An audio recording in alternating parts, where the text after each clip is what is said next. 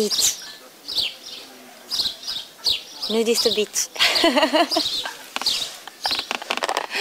やっぱりねあの裸好きなんですよね。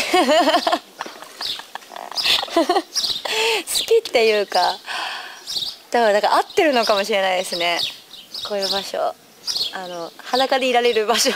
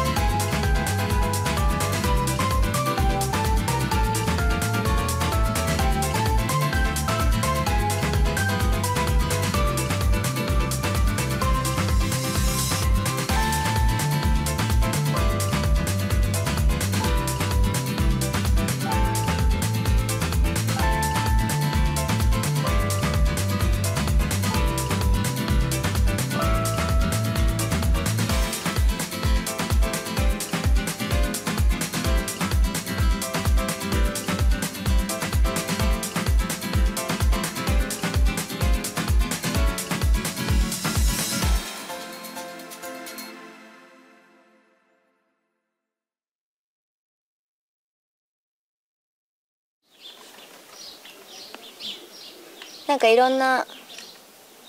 仕事する上であの例えばドラマとか映画とかでも代表作とかできたりとかするじゃないですか。その中での大島優子の代表作になったらいいなっていうのは思ってますね、うん、でも蜷川さんとね写真撮ってもらうのは、ね、結構多いんですけど